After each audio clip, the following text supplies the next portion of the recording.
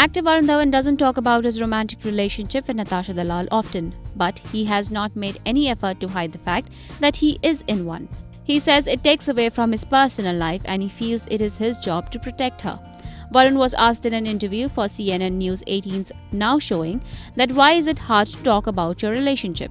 The actor, who has just turned 31, said, I feel like it takes away my personal life, and that is the only reason I don't talk about it.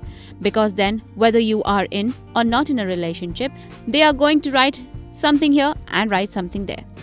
Is she uncomfortable with the attention? Yeah, she is a normal girl. She is a normal kid and she wants to just live a normal life. And it's my job to protect her.